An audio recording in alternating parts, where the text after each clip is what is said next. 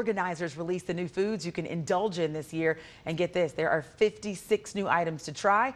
Some of them stood out to us. We'll go to the Ostrich Smash Burger, double pattied ostrich burgers, cheese, grilled onions, and a special sauce on a brioche bun. There's also the bacon wrapped candied jalapeno pimento cheese sandwich because everything is better with bacon and cheese, they say. And for something sweet, how about the bacon berry cookie dough on a stick? It's cookie dough with creamy white chocolate, dried cranberries, oats, and cinnamon. All of it topped off with more bacon.